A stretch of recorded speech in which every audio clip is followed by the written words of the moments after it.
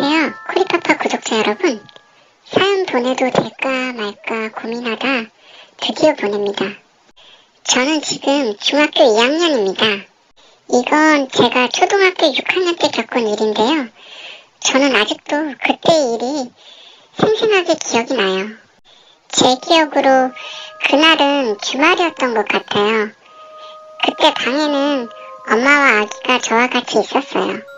제 방에는 창문이 하나 있는데 창문 밖은 베란다예요. 전 그날 새벽 4시까지 스마트폰을 보고 있었어요. 그리고 언니 두 명과 여동생은 거실에서 자고 있었고요. 엄마와 아기는 제가 있는 방 바닥에서 자고 있었어요. 저는 너무 졸려서 그만 스마트폰을 끄고 자려고 하는데 창문 쪽에서 저희 큰언니 목소리가 들렸어요. 이린이 너?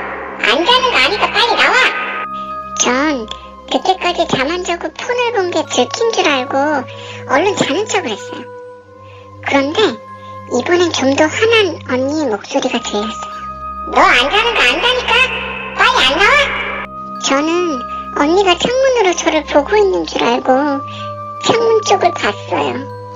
그런데 그때 검은 물체가 휙 하고 지나갔는데 아무런 소리도 들리지 않았어요. 뭐, 뭐, 뭐지? 내가 잘못 본 건가? 저는 너무 피곤해서 제가 헛것을 본 줄 알고 그냥 다시 자려고 했어요. 그런데 엄마랑 아기가 자는 바닥 쪽에서 여동생 목소리가 들렸어요. 어? 애기 자네? 전 여동생이 깨어난 줄 알고 일어났어요. 야, 너도 잠 깼어? 그런데 바닥에는 엄마와 아기만 있고 여동생은 없었어요. 어? 아니 얘가 그 짧은 사이에 어떻게 방을 다시 나간 거지? 저는 뭔가 이상했지만 아, 내가 너무 피곤해서 그런가 보다 하고 다시 잠이 들었어요. 그리고 다음날 큰언니 어제 새벽에 나 왜 불렀어? 뭐라고? 내가 언제? 아니 언니가 새벽 4시쯤에 베란다에서 나 불렀잖아. 아 도대체 무슨 소리야? 너 꿈꿨냐? 야 너도 어제 새벽에 방에 들어와서 애기 보고 말하지 않았어? 어? 내가? 뭔 소리야? 나 아침까지 잠만 잤어. 화장실도 안 가고. 뭐? 지, 진짜? 그, 그러면 내가 들은 소리는 뭐지? 저는 너무 소름이 돋았어요. 분명 지금까지도 생생하게 기억이 나는데 절 불렀던 언니의 목소리 그리고 여동생의 목소리 도대체 그 목소리의 정체는 무엇이었을까요? 그리고 제가 봤던 그 검은 물체의 정체는 무엇이었을까요?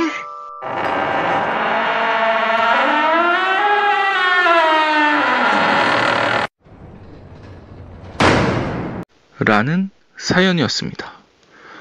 와, 정말 무서웠을 것 같아요. 만드가 도대체 이 정체불명의 존재는 뭘까? 음, 목소리를 똑같이 흉내낸다. 그렇다면 장산범의 가능성이 제일 높은데? 뭐라고? 장산범? 그런데 그 녀석은 산에만 있는 거 아닌가? 아니야. 옛날 어르신들 얘기 들어보면 장산범이 문지방 앞에서 수성이고 있어가지고 촛불을 켜가지고 휘휘 휘둘러서 쫓아냈다는 얘기도 있어. 아, 맞아. 어떤 할아버지가 들려주신 얘기지? 그런데 그 장산범이 사람은 아닌데 사람 같고 늘씬한 여자 같다고 했었지? 그래, 맞아.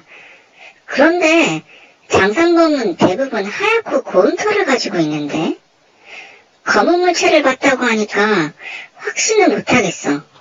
아마도 새벽이라 어두워서 그럴 수도 있어. 그런데 장산범은 아직까지 확실한 퇴치법도 없는데. 아니야, 꼭 그렇지만은 않아. 조선왕조실록 영조실록에 보면 포수들이 장산범으로 추정되는 괴수를 잡은 기록이 있어. 그러니까 무적은 아니란 소리지. 아, 맞다. 너 장산범 알지? 네가 퇴치할 수 있어? 아, 그 허연 털복숭이? 그 녀석은 불을 무서워해. 그냥이 불좀 하거라. 야, 모든 사람이 다 이글이글 열매를 먹을 순 없다고. 아, 참. 그렇지. 그렇다면 촛불을 켜도록 해.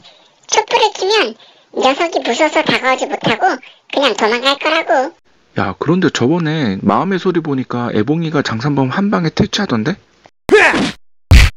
걔 생긴 것하고 달리 완전 호랑이야. 장산범에 관한 또 다른 이야기는 쿠리파파가 예전에 올린 영상을 참고해 주세요.